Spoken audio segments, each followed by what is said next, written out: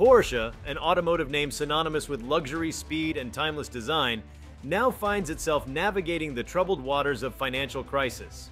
Oliver Blume, the CEO, recently shocked the automotive world with the revelation that the company is facing significant financial challenges. But what could possibly have pushed this automotive titan to the brink? For decades, Porsche has stood out in the automotive industry with its iconic 911, a symbol of performance and luxury, alongside other models such as the Cayenne, Panamera, and Macan. The brand's essence of engineering excellence and high-performance luxury has allowed it to command a price premium and a loyal following. So the announcement has not only surprised industry analysts, but also loyalists who see Porsche as invincible in its niche. The global automotive landscape is rapidly changing. Electrification, digitization, and the push for sustainability have taken center stage. Tesla's meteoric rise in the EV market with models like the Model S, Model 3, and the Roadster disrupted traditional automotive strongholds. Established giants like Ford, General Motors, and Volkswagen embarked on aggressive strategies to compete in the EV market, investing billions. Even luxury brands like Audi, Mercedes-Benz, and BMW accelerated their electrification agendas, releasing models like the e-tron, EQC, and i4 respectively. Amidst this, Porsche launched the Taycan, its first all-electric car. But perhaps the onslaught of competition and the required infrastructure changes have strained Porsche's financial coffers. Furthermore, global economic shifts also played a role in Porsche's predicament. Trade tensions, supply chain disruptions due to the COVID-19 pandemic, and semiconductor shortages have rattled the automotive industry as a whole. Companies had to halt production, deal with inventory challenges, and navigate volatile market demands. For a brand like Porsche, which relies heavily on precision and timely delivery of high-quality components, these disruptions could have had a more pronounced impact. Comparing Porsche's strategy to its peers offers more insights. While many car makers diversified their portfolios, expanded to emerging markets and collaborated on technology-sharing deals, Porsche retained a rather narrow focus. Brands like Volkswagen and Toyota expanded their presence in rapidly growing markets like China, India, and Brazil, while Porsche largely maintained its strongholds in North America and Europe.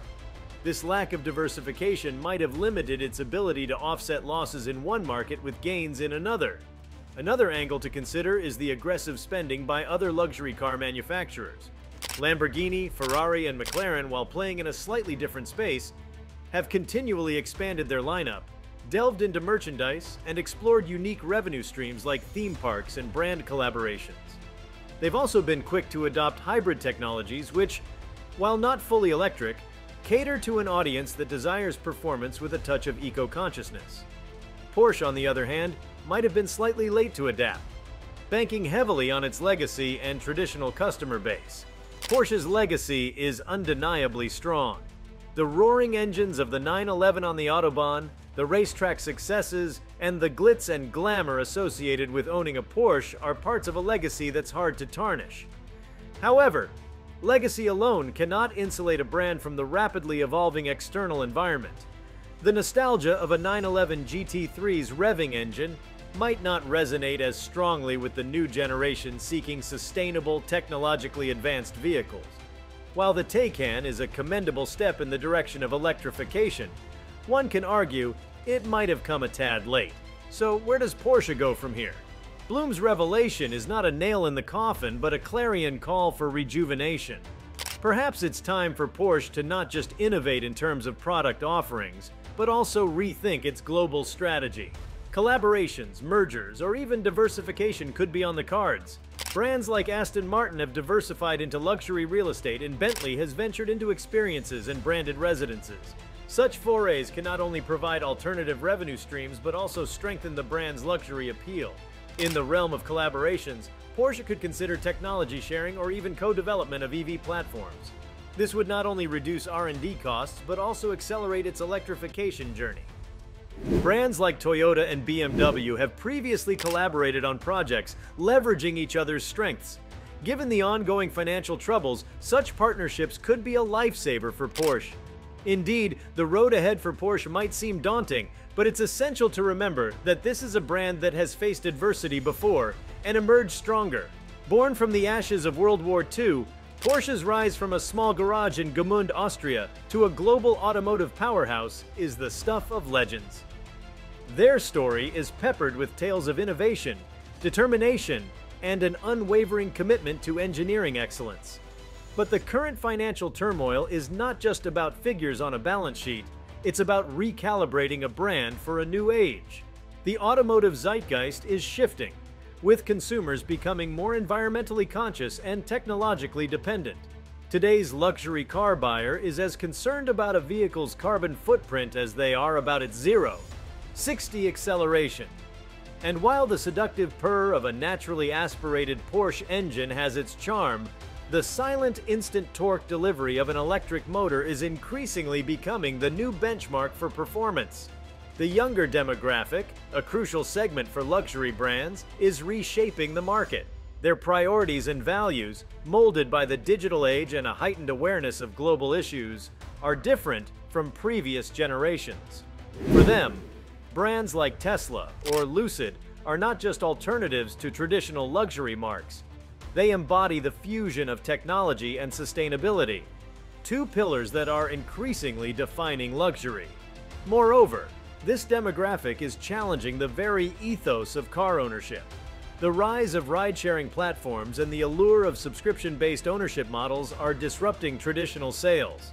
Brands like Volvo and Cadillac have already dipped their toes in these waters with services that let customers switch cars as per their needs without the long-term commitment of ownership. Given these profound changes, Porsche's comeback strategy should be twofold. Address the immediate financial concerns and chart a visionary path that aligns with the evolving market. The former might necessitate tough decisions, be it shedding non-core assets, restructuring operations, or even seeking financial bailouts. However, it's the latter, the visionary path, that will define Porsche's place in the annals of automotive history. Could we see Porsche delve deeper into the realm of digital services and mobility solutions? Could there be a focus on creating a more comprehensive ecosystem around the Porsche ownership experience, encompassing everything from charging solutions to digital concierge services? Given the brand's penchant for innovation, such endeavors aren't out of the realm of possibility. Furthermore, Porsche's racing pedigree offers a unique advantage. Motorsport has often been the crucible for testing and developing cutting-edge automotive technologies. With Formula E gaining traction as the premier electric racing series, Porsche could leverage its participation to develop and showcase next-gen EV technologies. This not only aligns with the brand's racing DNA, but also positions it as a frontrunner in the electrification race. Lastly, Porsche's unparalleled brand equity is its ace card. Even in these trying times, the allure of the Porsche crest, that proud black horse on a gold backdrop, is undiminished. It's a symbol of aspiration, performance, and luxury.